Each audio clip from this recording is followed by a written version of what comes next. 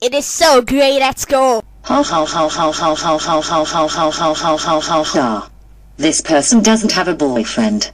What a loser. I know, right? Have fun being single, idiot.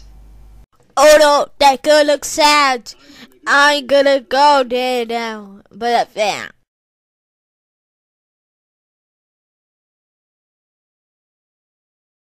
Hey, Purple Pencil, why do you look so sad? Because Roger, I'm a boyfriend. Man, she it looks cute. I think uh, I should date her. Oh, I think he's cute. My name is Roger Klotz. Sure. That was a great kiss. I better go back to my class. See you later, Pink Eye. When Roger got home, you are grounded, Roger.